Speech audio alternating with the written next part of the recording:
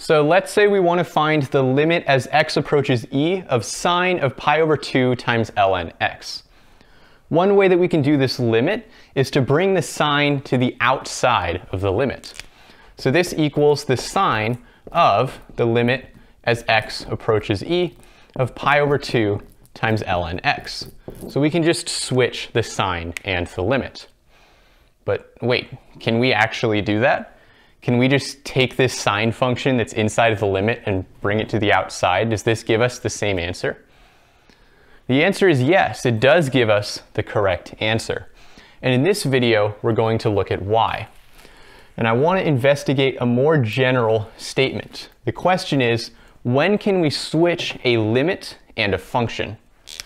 So say we have the limit as x approaches some value c of f of g of x. And we want to know when does this equal f of the limit as x approaches c of g of x. So when can we take this function f and bring it to the outside of the limit? And there are two conditions that we need for this to work. The first condition is we need f to be continuous. So f is a continuous function, and we need to know that the limit as x approaches c of g of x exists. So if this inside limit here has a value and the function f is continuous, then we can switch the limit and the function. And the proof of this statement here is one of the examples of why the epsilon delta definition of a limit is very important. Because when we're looking at specific functions like sine and cosine and x squared and so on, it can seem kind of unnecessary to do epsilon delta proofs for everything. Because if we're looking at those kinds of functions, we can just plug in the value or see what it approaches as x approaches a specific number. But when we're looking at an arbitrary function f, we don't know what the function values are, but we still want to prove something important that we can switch that limit in the function. And if we don't know what the function is, the best way to do this proof is to look at the original epsilon delta definition of the limit and see if we can prove it from there using just those fundamental principles. So the epsilon delta definition of a limit is very useful for proving results about general functions because it's how we define limits in the first place with that epsilon delta. So let's look at the proof of this statement right here. We're going to assume that the function f is continuous and that the limit of g of x right here exists. So let's say that the limit as x approaches c of g of x equals L. We know that this limit exists. We assume that at the beginning. So it has to equal something, and we're just going to call that limit L. So if we look at the thing on the right side here, f of the limit of g of x, this is going to be f of L. So our goal now is to take this left side, the limit as x approaches c of f of g of x, and prove that that equals f of L. So right here, we're looking at a limit. So if we want to prove that this limit equals something, we're going to need the epsilon delta definition.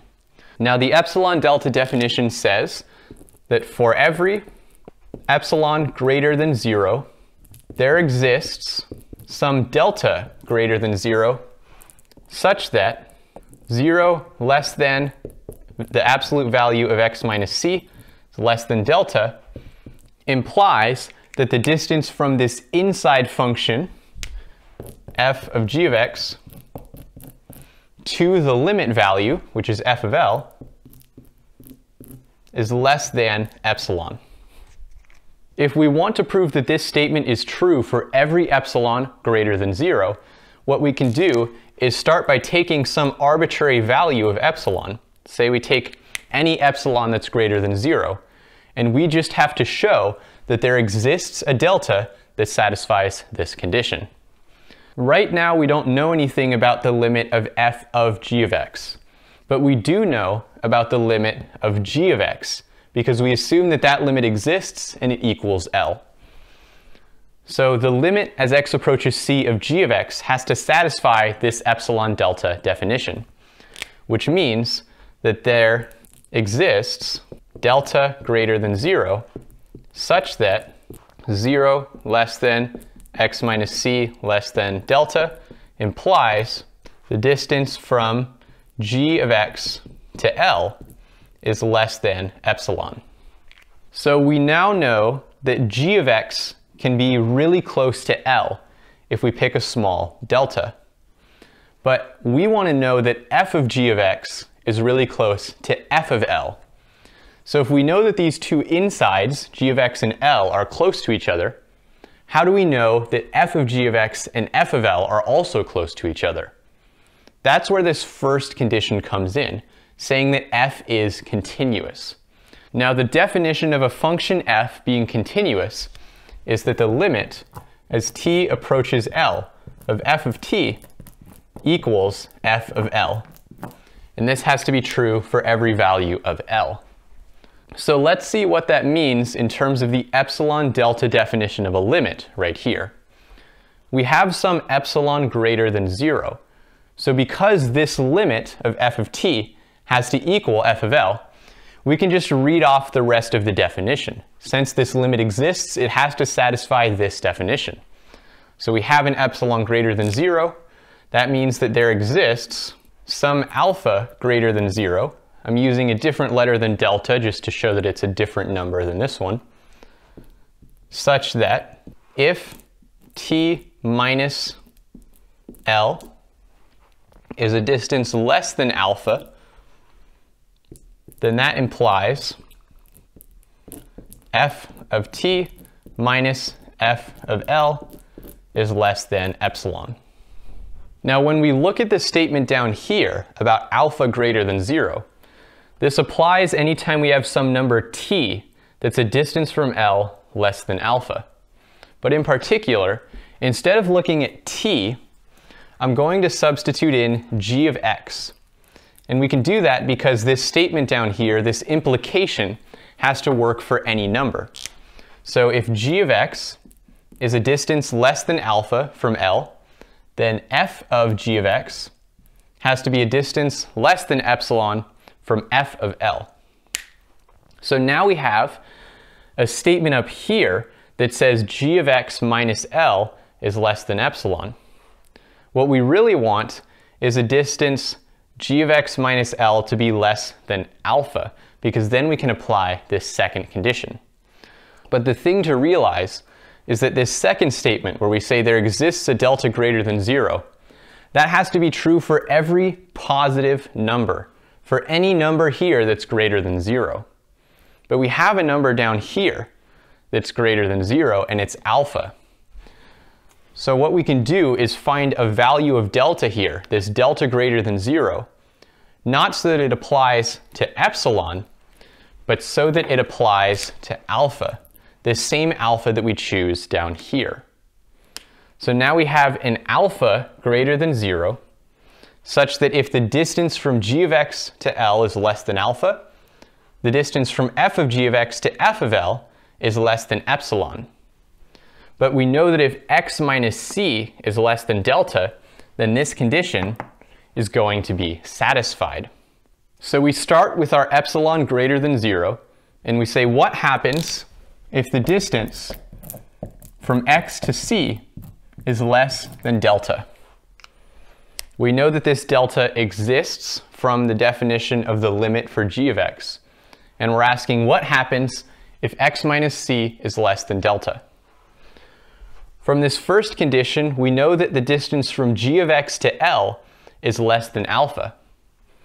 But by the definition of alpha, if the distance from g of x to L is less than alpha, then this second condition also has to be true.